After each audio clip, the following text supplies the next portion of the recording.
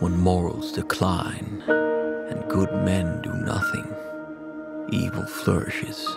A society unwilling to learn from the past is doomed. We must never forget our history.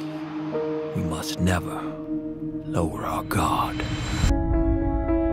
Edgar, you will rise to be the most powerful man in the country. Is my belief that when a man becomes a part of this Bureau, he must so conduct himself as to eliminate even the slightest possibility of criticism as to his conduct. Mr. Tolson, I need someone who I can trust. I want you to be my number two man. You understand? I need you. Imagine if every citizen in this country were uniquely identifiable by the pattern on their fingers. Imagine how quickly we could find them if they committed a crime. You remember that file we created on his wife? Mrs. Roosevelt. Will you make a copy for me, please? Is that legal? Sometimes you need to bend the rules a little in order to keep your country safe.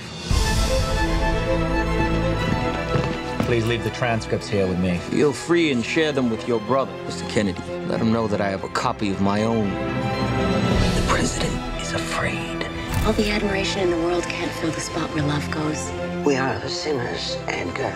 We tolerated lawlessness in the land until it grew to diabolical proportions. The blood is on your hands, Edgar.